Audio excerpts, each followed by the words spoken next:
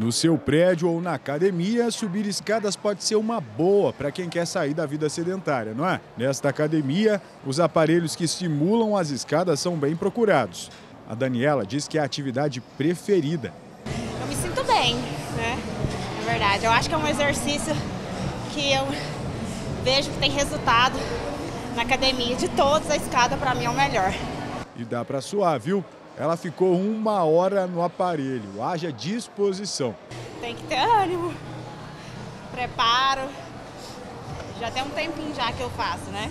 O personal garante que subir escada faz bem. E o exercício que trabalha seu condicionamento aeróbio, sua, sua, sua, suas funções cardiorrespiratórias e, além disso, a contração muscular na escada é muito grande. Então você trabalha os membros inferiores com maior eficiência do que no plano convencional, ou seja, na caminhada convencional, justamente por causa da dificuldade que os degraus impõem. E se você não vai para a academia, as escadas do prédio estão ali, disponíveis para você. Aí não tem desculpa. A Priscila está sempre se exercitando desse jeito.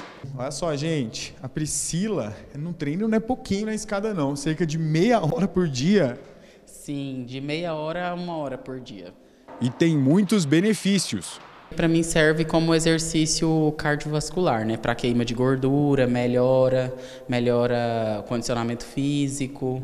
Mas para fazer esse tipo de exercício, tem que ter alguns cuidados. Gente, vocês sabem, né, que aquela história, para subir é difícil e para descer todo santo ajuda.